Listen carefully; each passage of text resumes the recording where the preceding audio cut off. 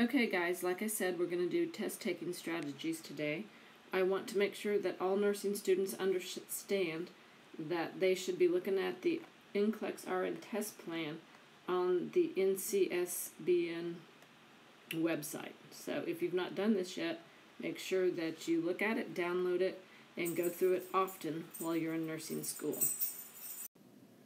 Okay, just some general info about the NCLEX RN exam and I did take this information off the NCSBN website. One, you have six hours to take the test. You can get a minimal of 75 questions or all the way up to 265. It's a CAT test. That means it's a computer adaptive test. It looks at you as an individual. It says, hey, are they answering these questions? Um, and are they too hard or are they too easy for the individual skill level? So let's just say that you happen to answer your first question correctly. Then the next question you get is going to be a little bit more difficult. If you answer it incorrectly, the computer then will select an easier question for you, and it does this throughout the test. It addresses client needs. So every so often, NCSBN goes out and they take a survey of what the work sites look like for registered nurses, and they determine based upon those results what are the client's needs. What are the clinical settings where beginning nurses work? What kind of care are you being expected to deliver? What are your primary duties and responsibilities? And based upon uh, that survey, they've come up with these particular areas that will be covered on the test and at different percents. And so, for instance, you can see that farm is actually, pharmacology is actually one of the biggest uh, percentages at 12 to 18. And so just remember that these are, you know, uh, different ranges and that it really is just testing whether you can be defined as entry level nurse. The various types of questions that could be included on the NCLEX include multiple choice, uh, select all that apply, just realize that you could have up to six responses. You could have fill in the blank, drop and drag, hotspot, audio, order response, and where, for instance, a procedure procedure you would need to actually place the steps of the procedure in order, or have a chart, have to gain information from the chart or exhibit, and answer the question based upon uh, the information in the chart. Just quickly, let's go over the difference between the stem and your answer choices. You guys can see that the stem is actually asking the question. And the problem with this is the stem includes what we call distractors.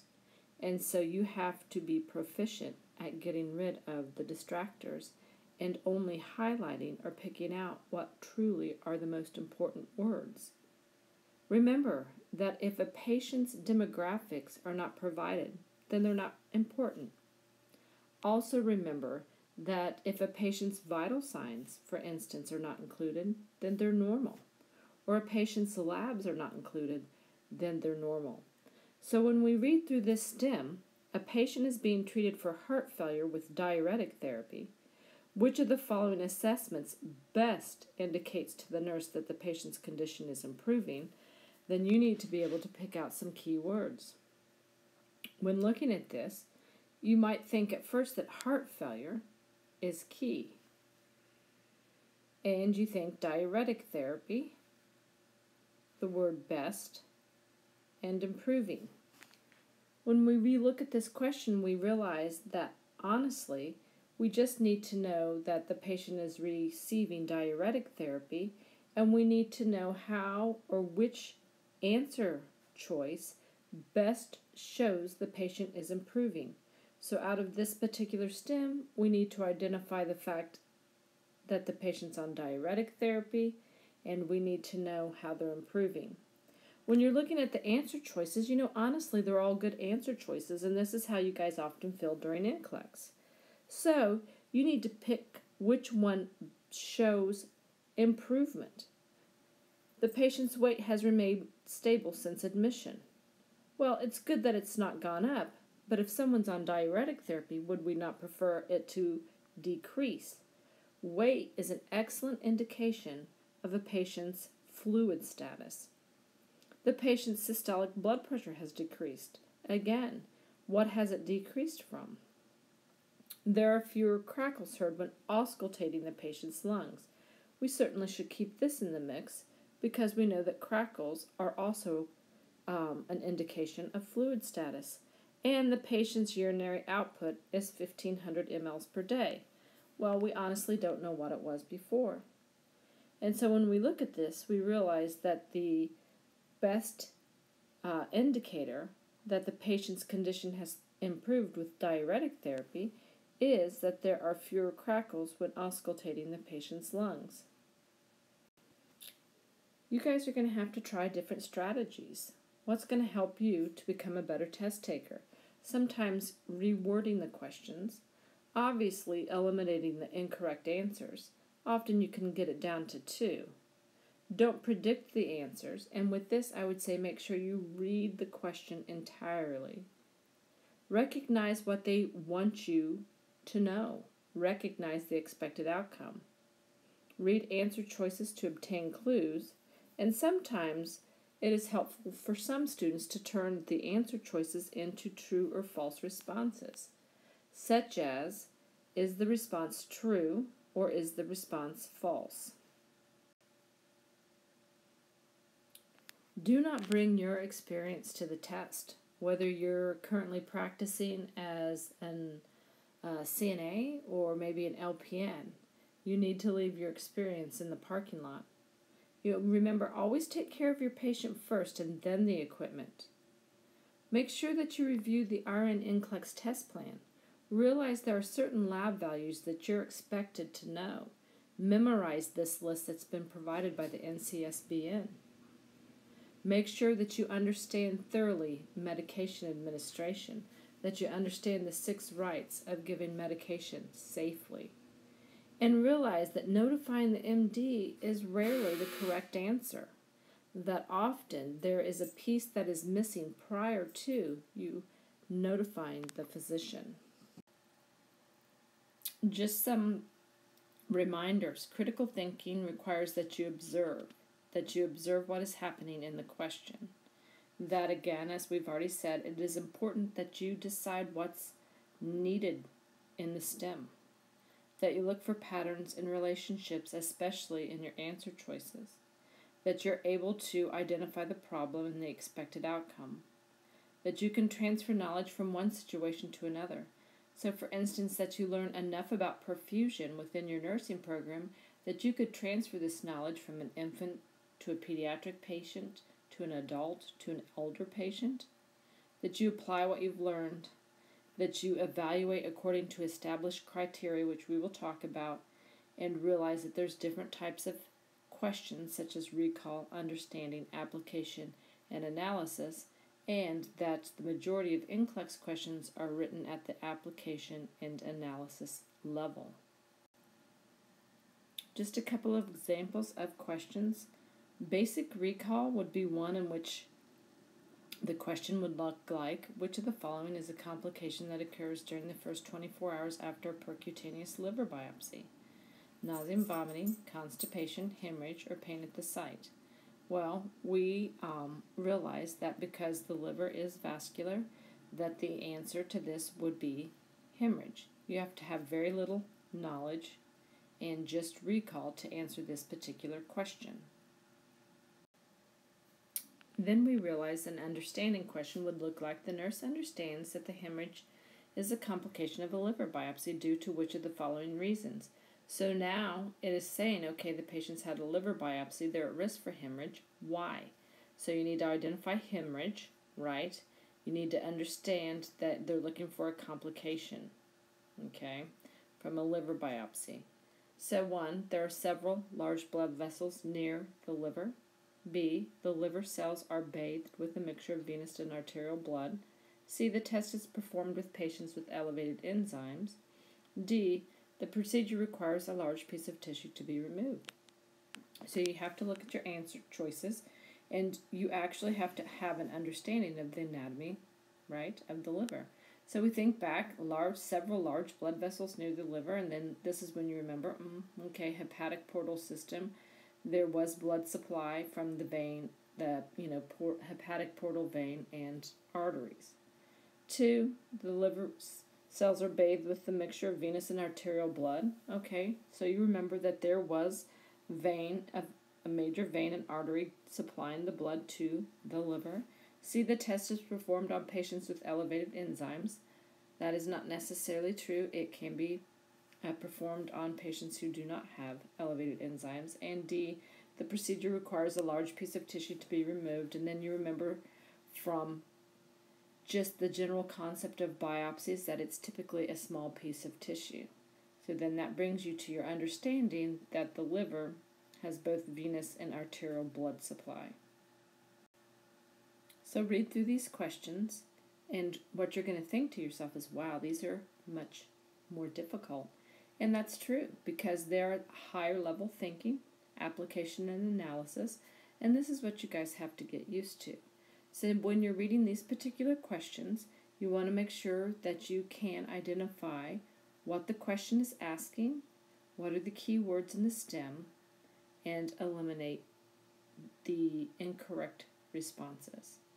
And so as you read through these, what you're going to realize is application is actually wanting you to know now without naming it that the patient is showing signs and symptoms of a hemorrhage so you have to be able to identify the signs and symptoms of a hemorrhage. And what you realize is honestly, B or C are decent choices, you know? So you look at one of the responses and ask yourself which one really is more objective. And the answer is C. We remember, you know, from hemorrhage, hypovolemia, fluid volume deficit, that an increased pulse rate a decreased blood pressure and increased respirs could be sign of fluid volume deficit. When you look at the analysis question, you have to ask yourself, did I learn anything about haloperidol and diet choices? And if you do not remember anything as far as diet choices for a particular drug, then what you're going to want to do is just go back to the basics of nutrition and pick the response which offers the best diet. And so when we're looking through these, it, the best, most uh, common healthy diet would be one with green beans, chicken, a banana, and some milk. Just some things that you guys can read through as far as strategies that work and don't work as far as becoming a successful uh, test taker. Uh, really understanding what kind of test taker you are and learner you are does help you to be more successful in taking NCLEX style test. It's interesting when you read the following statement. A nurse walks into a room and finds the patient lying on the floor. So ask yourself, did you just hear yourself saying the words or did you actually visualize this sentence, visualize the scene? That helps you to understand how you take a test. You want to remember the following on each question. One, I want to reiterate don't use real world experiences. Two, you're in NCLEX land. You have the all the time, the staff, and the equipment that you need.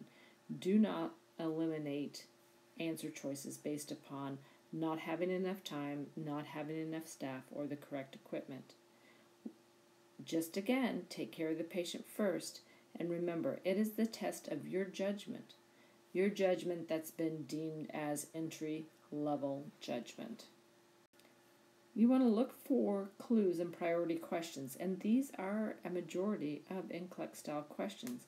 Look for words, best, most important, first, your initial response. So, for instance, an hour after admission to the nursery, the nurse observes a newborn baby having spontaneous jerky movements of the limbs. The infant's mother had gestational diabetes during pregnancy. Which of the following actions should the nurse take first? So you're actually asking yourself, what should I do first? Should I give dextrose first, call the MD immediately, determine the blood glucose level, or observe closely for other symptoms? And so you think about this question and you realize that in your mind, you have probably visualized a newborn baby having spontaneous jerky movements and you're thinking that they're having seizures. You remember the information that you learned during um, mother baby about mothers who have babies that are gesta- that have gestational diabetes and realize they are at risk for seizing. And then you think, what should I do first? Would you give dextrose blindly without knowing an actual blood sugar? Would you call the MD? If you choose this, what are you going to tell them? Would you determine the blood glucose level so you could assess or verify what you have witnessed? Or would you just monitor closely for other symptoms?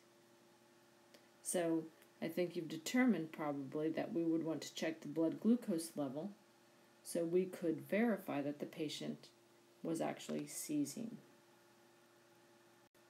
I know that you guys have learned this along the way, that you want to use Maslow's first. Then typically you want to apply the ABCs, safety, and the nursing process. So you want to look at questions and you want to look at your answer choices and ask yourself, is this a physiological or a psychosocial uh, choice? And you can eliminate the psychosocial answers over the physiological answers.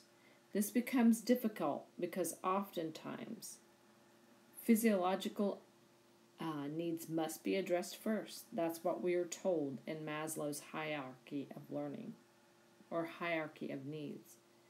And pain is actually considered a psychosocial response on your NCLEX.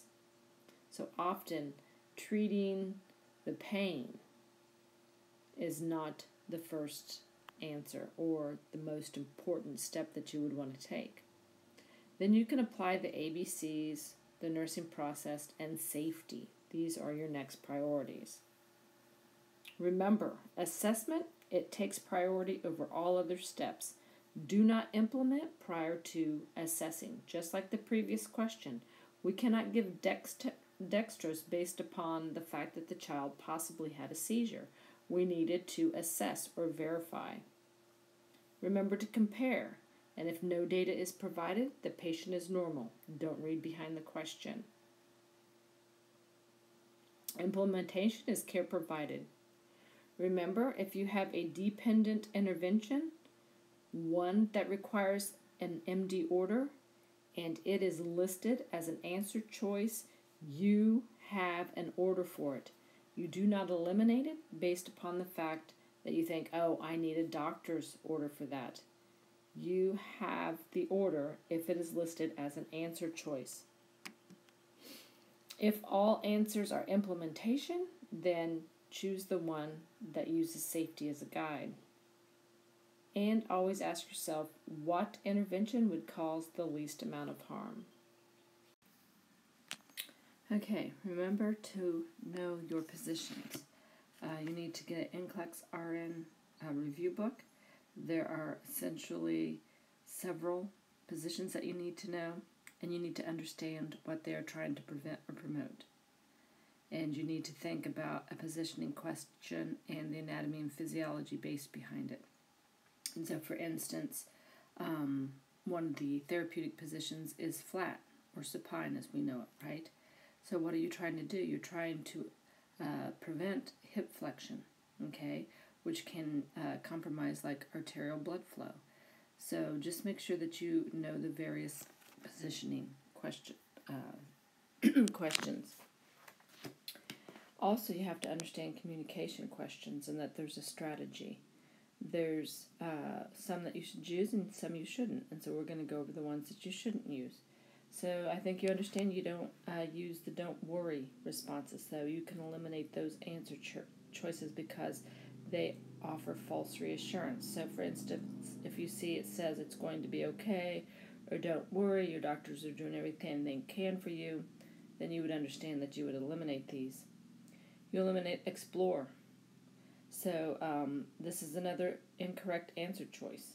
Okay, so you don't want to use an explore um, response because you don't want to become what we call a junior um, psychiatrist. You also don't want to use the why. Why actually seems like it's passing judgment or you disapprove of the client's choice. And so you want to eliminate the why responses. Authoritarian, where it gives the choice or gives the patient no choice, you want to eliminate those. Uh, answer responses that f- bring the focus back on the nurse, you need to eliminate, such as that happened to me once, or I know from experience. And close ended questions you want to eliminate, or close ended responses because they don't give the patient an opportunity to express uh, what they're feeling, uh, such as, Are you feeling guilty about what happened? That just offers a yes or no. So you need to think about the communication, you need to think about the goal and the purpose of the communication. Some of the responses that you would want to use would be using silence. That often gives the client time to think about and reflect on what they want to say. Um, you can just use a general uh, broad opening. You certainly can use clarification. It kind of summarizes and you repeat or clarify what you think the client is telling you. And you can use uh, reflecting, which also paraphrases what the client is saying. Okay, so strategies to break down questions. So we uh, need to learn the techniques that you need to follow in order to hopefully answer the questions correctly. We know that we answer them first, or the first strategy would be to answer them with Maslow's. You remember that Maslow's is the pyramid, and it has five different areas of need for each human being, but they're based upon what's most important, and that being physiological. So remember, they're at the base physiological, then safety and security, love and belonging, self esteem, and self actualization. So physiological needs are necessary for survival. So they're, therefore, they're the highest priority and they must be met first. So that's things like, you know, oxygen, nutrition, fluid, temperature, elimination, shelter. And if you don't have, uh, you know, oxygen to breathe or food to eat, then you can't survive. And so these take precedence over psychosocial relationships. Then it goes on to safety and security. These can be both physical and psychosocial. Okay, a physical would be what's threatening your client, uh, such as a temperature, a myocardial infarction, uh, someone in a car accident. And then uh, psycho- psychological safety, uh, you have to realize that your patient has to have the knowledge and understanding about what to expect from the environment. So it's important. This is where teaching comes in, and it's important um, that they know, for instance, what to expect after a CVA. So you want to first look at a question and ask yourself um, is this a question and can I establish it based upon Maslow's hierarchy? So look at your responses, eliminate all those responses that are not uh, physiological and then from physiological, the responses that you have left, you want to apply um, the CAB. Okay? So you want to apply what we used to call the ABCs, but now they're the CABs the circulation, the airway, and breathing. And that would be your first strategy. Your second strategy that you could use, if it's not a question about Maslow's, your second strategy that you could use would be to implement the nursing process. You just need to remember to ask yourself when you're looking at the stem and you're looking at the uh, responses or the answer choices, you need to ask yourself is this a question that is about assessment versus implementation? We know that um, assessment is where we collect the data about the client, and we know that this has to take precedence or comes first over implementation. We cannot implement if we do not have sufficient data. So ask yourself what is the outcome of this question? Is it an assessment versus an implementation question? So assessment must take priority.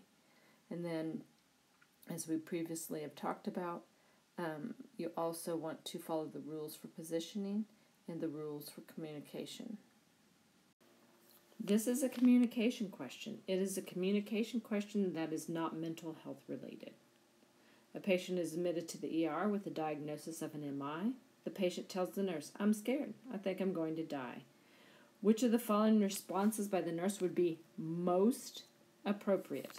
A. Everything is going to be fine. We will take good care of you. You can eliminate this answer. We just said to eliminate don't worry type of responses. B. I know what you mean. I thought I was having a heart attack once. Again, you can eliminate because it focuses on the nurse. C. I will call your doctor so you can discuss it with him. This is a closed ended question. It does not offer the opportunity for the patient to express any feelings. So that leads us to D. It is normal to feel frightened. We are doing everything we can for you. So the correct response here is D. Okay, this is a communication question. A patient is in a psychiatric unit and asks the nurse, Am I in a special radioactive shelter? When was it last checked for radioactivity? Which of the following responses by the nurse would be most appropriate?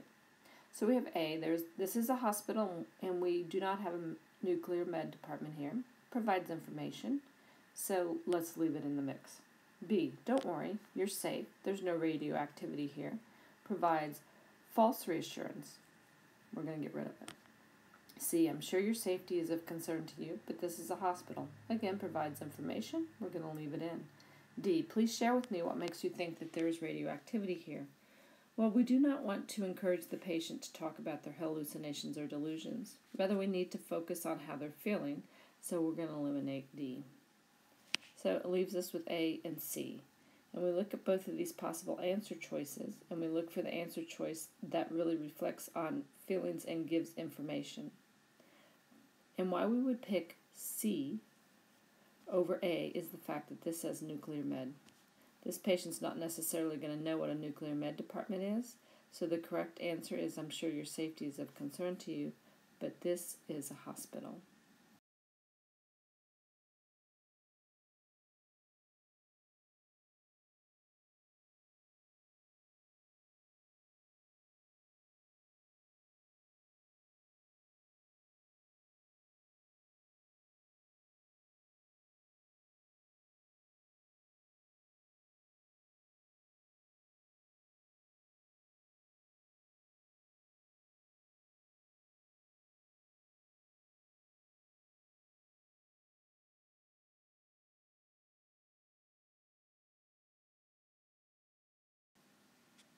Okay, this is a positioning question. So when you look at it, you read the nurse cares for a patient after lumbar laminectomy. Which of the following statements best describes the method of turning a patient following a lumbar laminectomy? So you say to yourself, this is a positioning question. I needed to know the important positions and what to prevent and promote. So this is actually a question about promote. We need to promote good turning for someone who has had a lumbar laminectomy. So you're going to have to remember what a laminectomy is. And so this requires the principles of anatomy and physiology and knowing your positioning. So, A, head of the bed is elevated 30 degrees. The patient locks her knees when turning. No, what we we remember is from a lumbar laminectomy, we need to keep the back straight. So this is not going to promote a straight back. So this particular question we can eliminate a response. B. A pillow is placed between the patient's leg. Her body is turned as a unit. This we can leave into consideration. It does promote a straight back. C. The patient straightens her back and grasps the side rail on the opposite side. If you visualize this, then you can realize that this is going to cause a twist in motion and not promote a straight back. You can get rid of it. And D. The head of the bed is flat. The patient bends her knees and rolls to the side. Again, this does not promote a straight back. And so your correct response here is B. Okay, we look at this question. A boy was riding his bike to the school when he hits the curb. The boy tells the school nurse, I think it broke. I think my leg is broken. Which of the following actions is the first action? First action the nurse should take. Okay? And so when we're looking at this, what we realize is that this is a question that we're going to need to utilize the nursing process. And so, what did we say about the nursing process? We need to assess before we implement because the statement, I think my leg is broken, is not our assessment. So, do we want to immobilize the affected limb with a splint and ask the patient not to move it? No, that is implementation. Ask the patient to explain what happened. Now, that is an assessment. Let's leave it in the mix. C. Put the patient in a semi Fowler's position to facilitate breathing. Again, that is implementation. D. Check the appearance of the patient's leg. That's assessment. So we have B and D are both assessments. What would take priority, though? That's what you have to ask yourself. Would it be what the boy said happened, or would you need to assess the appearance of the leg? So that's what your question is. So, what takes priority? And what takes priority is our assessment over what the young man has said happened. So, it is check the appearance of the patient's leg, and then you would ask him to explain what happened.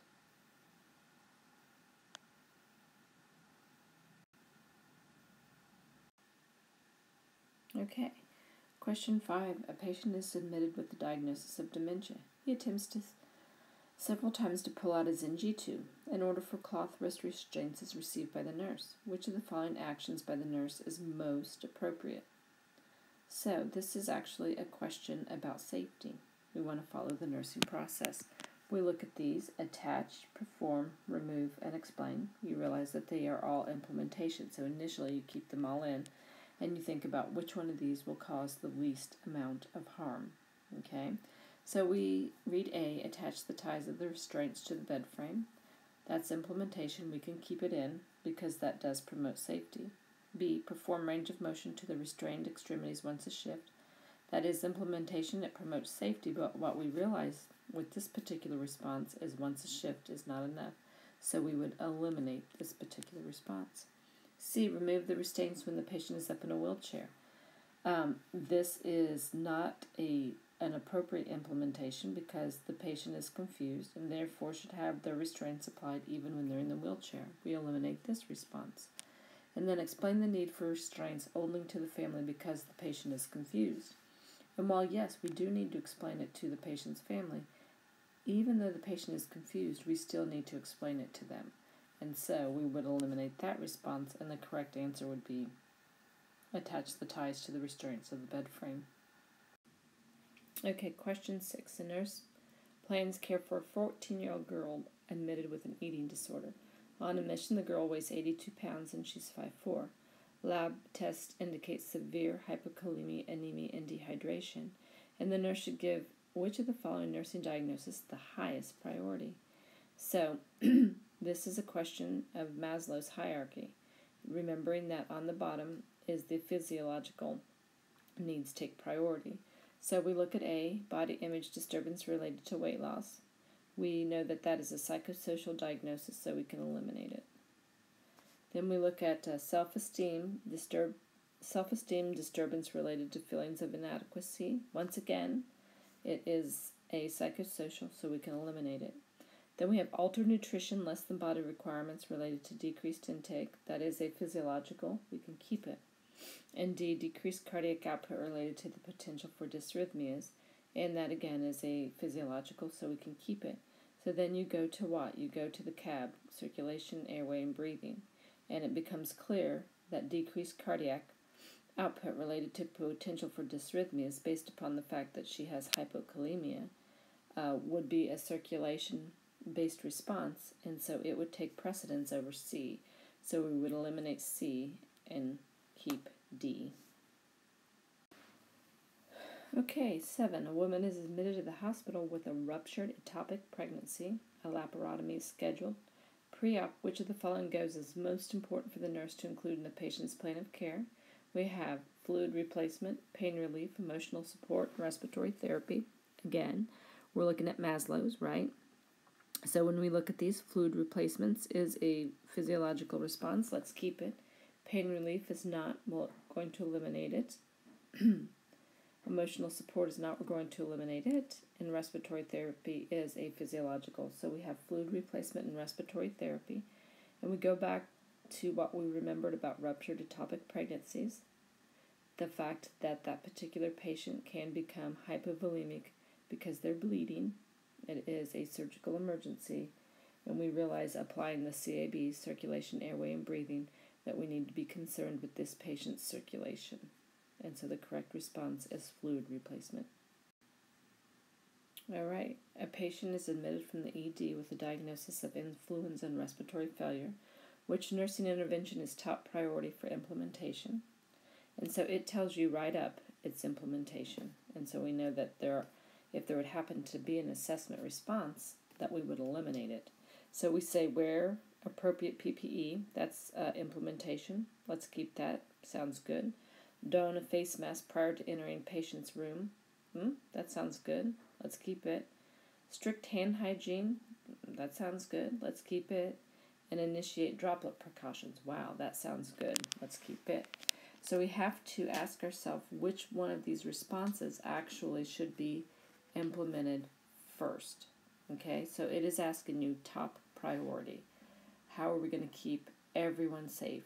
And so we know when we look at that top priority, safety for everyone, we want to initially, once the patient gets on the floors, make sure that we initiate droplet precautions so everybody understands that we're dealing with a case of the flu. Okay, that wraps up our NCLEX test taking strategies. Um, thank you for listening. If you have any questions, be sure to reach out to me. If you're one of my current students, you know how to get a hold of me. If you're not and you would like to have uh, one this PowerPoint or one of the PowerPoints on my website, just remember that you can go to nurse.polly.rn at gmail.com. Thanks for stopping by.